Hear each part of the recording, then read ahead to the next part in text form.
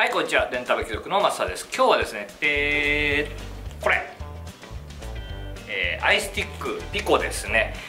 これねあのまあぶっちゃけねほとんど中身はね e ビッグミニとかとね変わんないんですけどこれ見た目ですよね、えー、これ気になってる人相当多いと思います。紹介していきたいと思います。はいそれじゃあ箱を開けていきましょう。これね相変わらずこう立派な箱に入ってこの高さいらねえだろって思うけどね。えー、本体があってね今回ねすげえシンプルなんですよね。まあ、これはあのバッテリー単体バッテリーの製品なんですけれどもメロ3っていうアトマがセットされたものもあります。はい USB の充電ケーブルとマニュアルですね、えー、今回これだけ。じゃあ本体見ていきましょうか。これ一見ここダイヤルに見えるんだけどこれね単なる蓋です。何の蓋かっていうとはい。ここにバッテリーが入るんですね。この大きさで18650のリプレイサブルっていうね。これ嬉しいよね。この大きさだもんね。ちなみにねミニボルトがこれだけどまあ大きさは全然違う。バッテリー容量も全然違う。でこっちは交換できる。でこっちはないぞっていうね。こんな感じなんですけれどもね、え機能的にはこれ eBIC です、えー、ちょっとねメニューがね eBIC と違うんで見ていただきたいんですけれども。まあ普通に5クリックはありますよね。で3クリックでモードの切り替え。今 SS からチタンニッケル、えー、バイパスワッテージ、えー、T マニュアル TCR ですね。321と。あこれこっちか。こうだね。そう。あのね eBIC と違ってね戻れるんです、ね、eBIC は一方通行だったですけどね。そんでえー、っと今俺 SS のアトマが乗ってるんですけれども SS ワイヤーのね。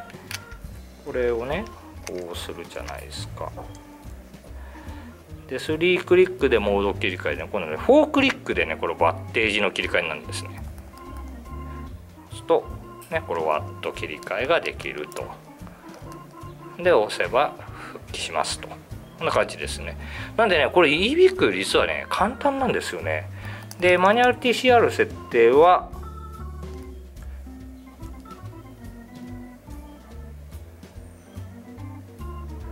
一回電源オフにして、えー、このプラスですね。プラスとメインスイッチを長押しでマニュアル TCR の設定ができます。これちょっと長いかね。でこうだね。こう M123 と、えー、全部で 3, 3つ。3種類 TCR 設定できます。で、えー、押すとこっちに。メインを押すと切り替え。でこれで、えー、お好みというかね任意の TCR 値を入れて覚えさせられると。はいこれで復帰簡単だよね eBIC より分かりやすいやね。覚えてしまえば。アトマイザーのね、えー、抵抗値ロックなんですけどここのプラスとですね、えー、それからメインスイッチを同乗子にすると。よいしょ。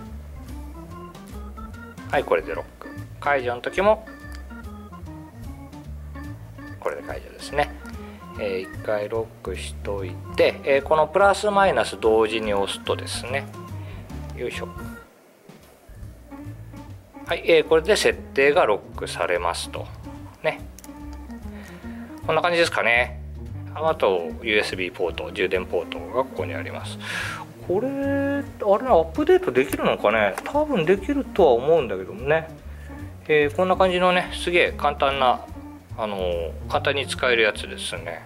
ちょっと慣れてる方だったら戸惑うことはないと思います。じゃあやっていきましょうか。よいしょ。これね SS モード。SS ワイヤーで組んである。ネクターちゃん。あのごくごく普通です。あの EBIC ジョイテ系のね基板の優秀さそのまま受け継いでますね。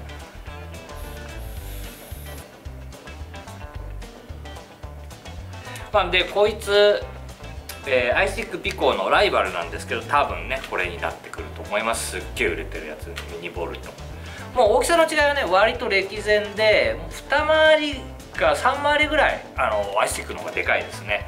でバッテリー容量がねでかい分これ18650のリプレーサブル。だいたいね 3000mAh ぐらいのまで使える。